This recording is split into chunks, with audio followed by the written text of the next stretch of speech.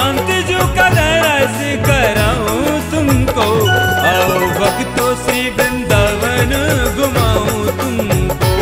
आओ भक्तों श्री वृंदावन घुमाओ लीला वृंदा विपिन की तीन लोक ते न्यारे।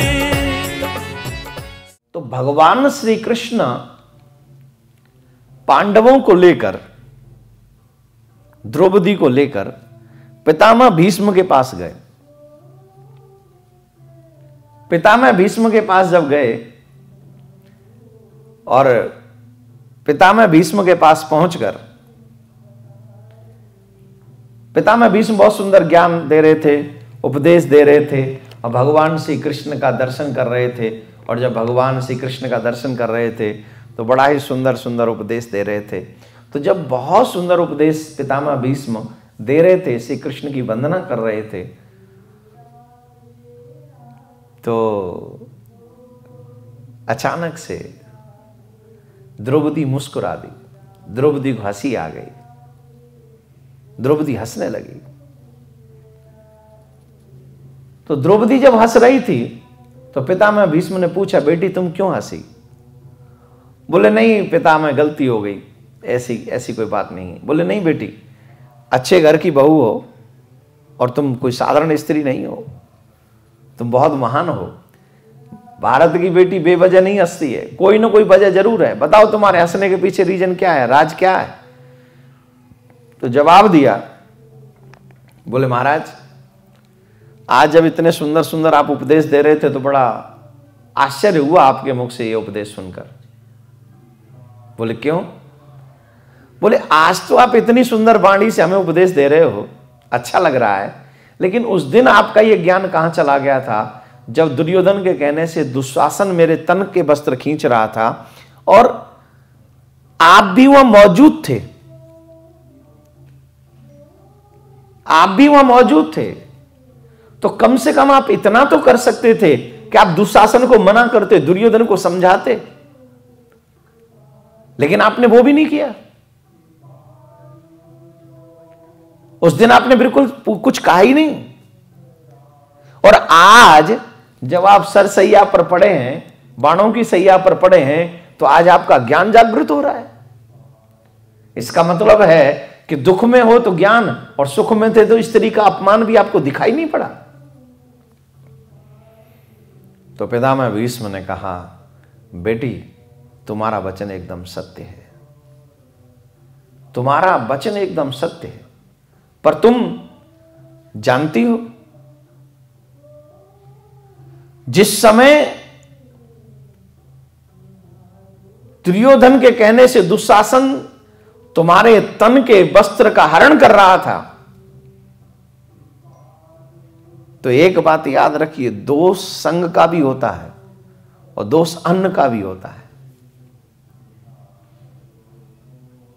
हम कैसा अन्न खाते हैं, उससे हमारी बुद्धि का निर्माण होता है। हम कैसे लोगों का संग करते हैं, उससे हमारे चरित्रों का निर्माण होता है। उस समय मेरा संग किसका था? दुर्योधन का। मैं किसका अन्न खाता था? बोले, दुर्योधन का। तो दुर्योधन का अन्न खाने के बाद क्या मेरी बुद्धि उतनी पवित्र हो सकती थी?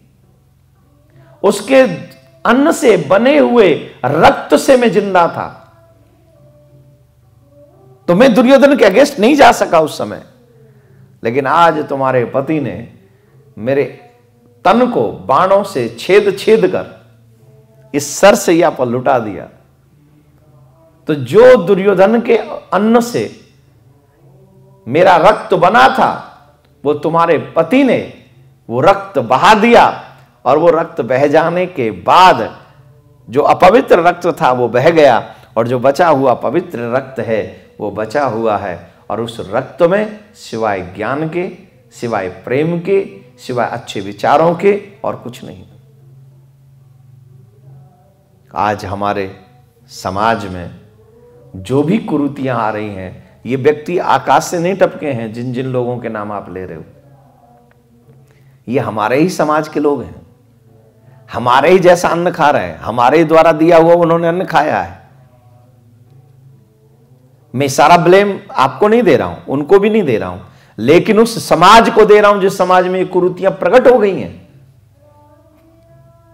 काश भारतवर्ष में उसी समय किसी को फांसी दे दी गई होती, जिस समय किसी ने पहली बार किसी महिला के साथ में अपमान भरा यह कृत्य किया था। अगर उसी दिन फांसी दे देते तो किसी और की हिम्मत यह काम करने की नहीं होती। आप सऊदी चले जाइए, आप अरब चले, वहाँ चले जाइए। आप किसी को नज़रें उठाकर नहीं देख सकते। अगर देख लिया तो परिणाम आपको भोगना पड़ेगा, और बुरा परिणाम भोगना पड़ेगा। हमारे भारत में ऐसा नहीं है। क्यों नहीं है? हम डबल गेम खेलते हैं। तो हमको पवित्रता रखनी चाहिए भोजन में। हमको पवित्रता रखनी चाहिए संघ में। और जब भोजन में पवित्रता होगी, जब संघ में पवित्रता होगी तो निश्चित तौर पर पिता में भीष्म जैसी गलती हमसे नहीं होगी। पिता में भीष्म की गलती थी कि जब द्रौपदी का चीरहरण हो रहा था, उनके मुख से एक शब्द नहीं निकला। एक शब्द नहीं निकला, जो कि निकलना चाहिए था। बड़े होने के नाते कह सकते थे कि आप ऐसा मत करो, लेकिन नहीं कह पाए। क्यों? क्योंकि संग गलत था, क्योंकि अन्न गलत था, जिसकी वजह से ये सब हो गया। तो आज कृष्ण का दर्शन किया और रक्त बह गया। आज संग अच्छा हो गया। पांडवों का संग है, भगवान श्री कृष्ण का संग है और वो रक्त बह चुका है। तो आज वो सुंदर विचार भगवान श्री कृष्ण के दर्शन हो रहे हैं और वो कह रहे हैं, मेरी विचार, मेरी बुद्धि रूपी बेटी से आप विवाह कर लीजिए। पिता मैं बीस में ऐसा कह रहे हैं। विश्व शांति सेवा चैरिटेबल ट्रस्ट के द्वारा चलाए जा रहे सोशल मीडिया से आप सभी भी जुड़ें। यूट्यूब के सब्सक्राइबर बनने के लिए यूट्यूब में टाइप करें देवकी नंदन जी महाराज। फेसबुक पर पूज्य महाराज जी के आधिकारिक पेज को लाइक करने के लिए देवकी नंदन ठाकुर जी सर्च करें। ट्विटर पर पूज्य महाराज जी को D DN underscore Thakur underscore ji follow करें।